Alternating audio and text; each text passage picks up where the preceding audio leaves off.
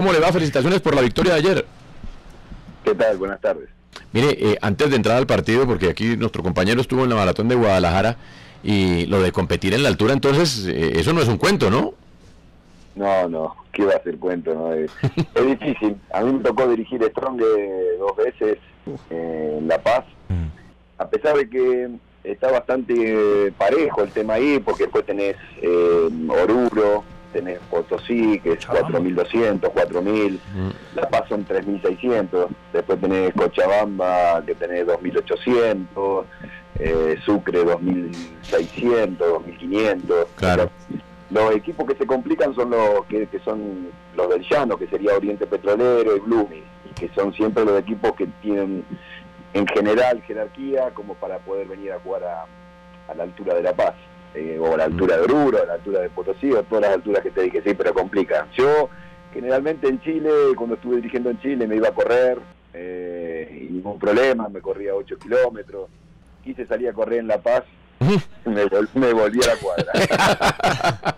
no, y para dar indicaciones ahí en la raya también se pues, para todo, ¿no? Es que para, para dar una charla, la charla del entretiempo y todo, sí, sí, uno se ahoga, sí, sí, hay que acostumbrarse, no, no, no es fácil. Claro. Pero al final, ¿qué es más difícil? ¿La altura o un calor como el de Neiva cuando vuelve a tener su estadio el Huila? Eh, ahí también se puede sacar ventaja, ¿no? Primero, eh, para mí es, es más fácil jugar con el calor. Mm. O sea, o era más fácil jugar con el calor y entiendo que por lo que jugué me parece que es más fácil. Después, nosotros no le sacábamos ventaja al calor ese que supuestamente dicen. Eh, nosotros entrenamos a las 7 de la mañana, así que nosotros no le sacábamos ventaja al calor. Si le, le hubiésemos sacado ventaja al calor, si entrenamos a la tarde. Si nosotros entrenamos a la tarde, seguramente tenemos que trabajar mucho menos porque hay de- deshidratación y todo lo que es el cansancio que origina un calor enorme. Claro. Entonces, si hubiésemos entrenado para jugar a la tarde, eh, nos produciría que tendríamos que hacer mucho menos trabajo porque se nos complicaría para el día del partido por, por el tema de- del calor que hace, ¿cierto? Y que todo, todo lo que podíamos haber guardado en la semana y gastarlo el domingo para un partido, seguramente lo gastamos en la semana. Entonces, para nosotros no era beneficioso jugar a la, a, a la tarde, a las 3 de la tarde, para nada, no sacábamos ventaja y a veces también depende de la característica de los jugadores que tenés. Hay jugadores que gen- genéticamente son muy buenos y, y no sufren todos esos problemas, así que no tenés, pero tenés que coincidir con esos jugadores y no es fácil. Claro, claro, porque además aquí no es como en Europa que usted arma la nómina que quiere. Aquí es lo que le corresponde. Y lo que le correspondió en el Huila, vemos un equipo de jugadores humildes, con muchos sueños, pero que ayer, por ejemplo, jugaron muy bien al fútbol, ¿ah?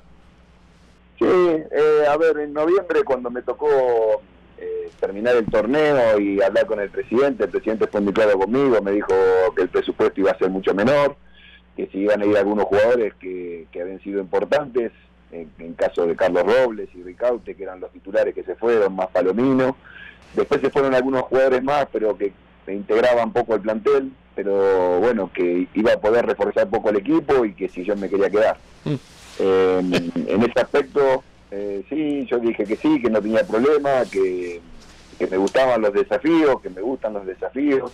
Tampoco he tenido propuestas, sí, porque también es una realidad, no he tenido propuestas, así que también, no, también eh, podría haber medido, medido por ese lado, pero bueno, eh, si hoy uno mira el banco de suplentes nuestro, eh, se encuentra con chicos de, de 16 años como Amaya, de 17 como Cortés, que ayer entró un gatito, eh, Pestaña que tiene 20 años, sí. eh, el mismo Edward López que tiene 22 creo que es, y el, el mismo Leudo que tiene 24, o sea, todos chicos muy jóvenes, el arquero que tenemos hoy suplente también de la misma edad, sus 20, así que bueno, eh, eh, nosotros estamos trabajando para eso, que crezcan rápido, que, nos puedan dar una mano cada vez que entran, y ahí ya van de los cuatro partidos, dos partidos que nos dieron soluciones los jugadores que, que entraron desde la banca. Así que van entendiendo que, que necesitamos que crezcan, que entiendan, que escuchen y que vayan eh, absorbiendo todo lo que es la primera división. Ahora, Néstor, eh, ¿es eh, mejor desde, desde su puesto como director técnico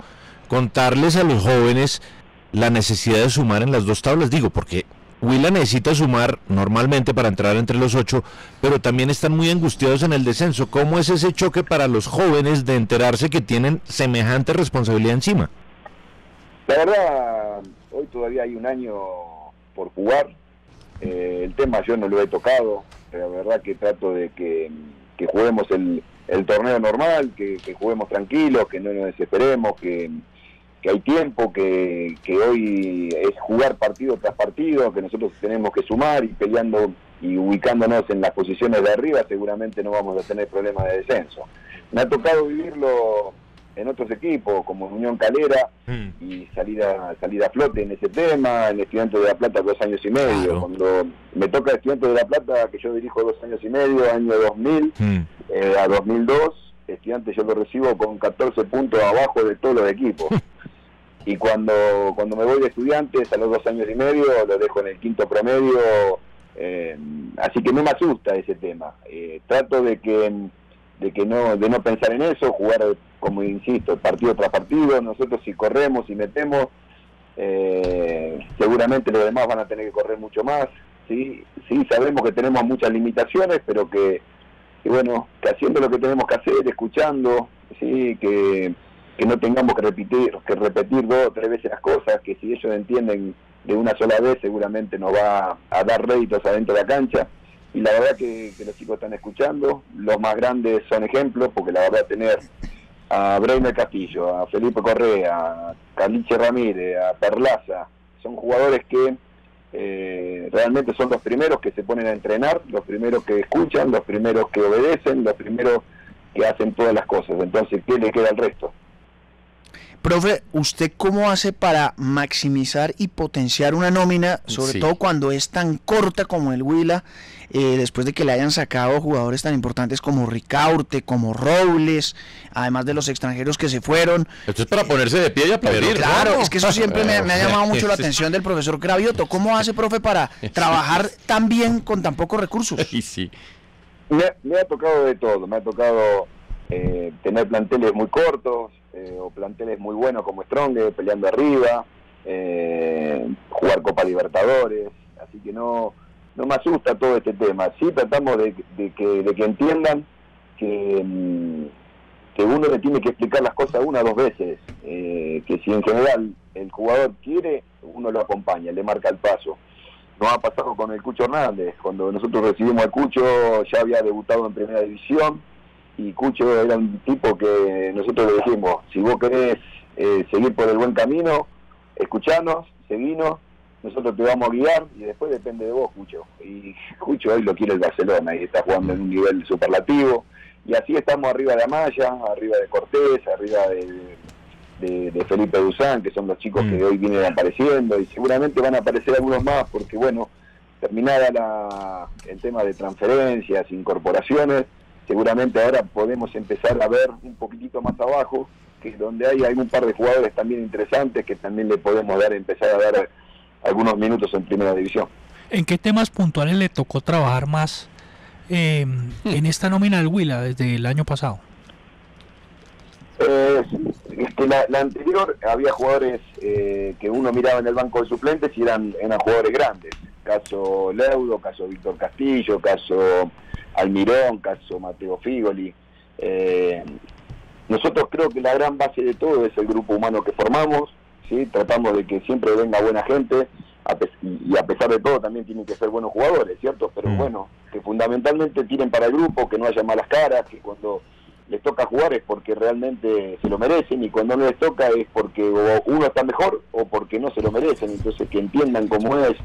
Tratamos de hacer entrenamientos donde ellos entienden y a veces los ponemos en la función del técnico, a veces los ponemos en la función del preparador físico, hasta la del presidente, cuando tiene que tomar decisiones, entonces lo hacemos entender que a veces el jugador solamente piensa en el jugador y piensa en tenis, y nosotros tratamos de que no piensen en tenis, que piensen que, que es un equipo, ¿sí? que dependemos de todos, que hay momentos, que los jugadores tienen momentos, no porque lo que hizo hace tres años atrás va a seguir jugando. No, no, es, actualidad, es momento. Por eso en nuestro equipo ha jugado Breiner Castillo con 40 años y ha jugado eh, Amaya con 16. Mm. Siempre decimos que, que todo es rendimiento y hay que demostrarlo día a día y hay que tener competencia dentro del grupo y eso es lo que tratamos de lograr dentro del equipo. Mm, muy bien. Pues profesor, queríamos saludarlo, felicitarlo no solo por lo de ayer, sino porque ya usted tiene una, una trayectoria importante y en Colombia también la ha construido con muy poquito. Ha hecho cosas bien interesantes. Felicitaciones, muchas gracias.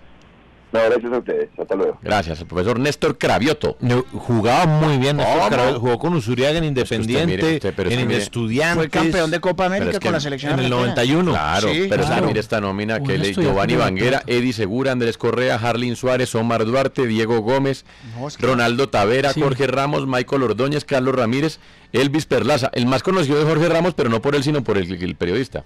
Jorge Ramos, un delantero. Ah, sí, el de el jugó en Santa Fe. Jugó en Real Cartagena. claro. En No, sub-17. Sí, sí, ese fue de la super, Sí. pero no, o sea, no es que no, no hay mucho. No, es que cuando yo veía la nómina del Bueno. Huila decía, este es candidato A uno ver. al descenso porque le sacaron todo lo que tenía. A ver, ayer le ganó la suplencia del Junior que tenía Sebastián Hernández, que ya supo jugar en Europa, a Luis Narváez, a Luis Díaz, a Matías Mier, a Germán Gutiérrez, a Debbie Balanta, es decir, Está jugando sin no, nueve. es ¿no? mucha más nómina la, la Eh, del Junior. Este Huila la no Junior de tiene- ayer. No tiene un 9. Pues No, en los últimos exacto. partidos. Bueno, Pues tiene a Ramos ahí y pone a Duarte, que es Sí. sí, los pone como extremos. Eh, Cravioto también fue campeón en el 93. claro. Río Negro, América, Él tiene fue, razón. él fue técnico de Unión de Santa Fe. Río Claro, Negro Águila le ganó 2 a 1 a Boyacá Ay, Chico. me deja Una mandarle cara un- de B tiene Boyacá Chico. Me deja mandarle un saludo a la jefe de prensa del Boyacá Atlético Huila. con B, sí. Me deja mandarle un saludo a la, a la jefe de prensa del Atlético Huila, claro. Lina Barreto. Hombre, saludos, Nos Lina. oye siempre. Qué bueno. Y es guapísima, guapísima. Ah, saludo. Es ella.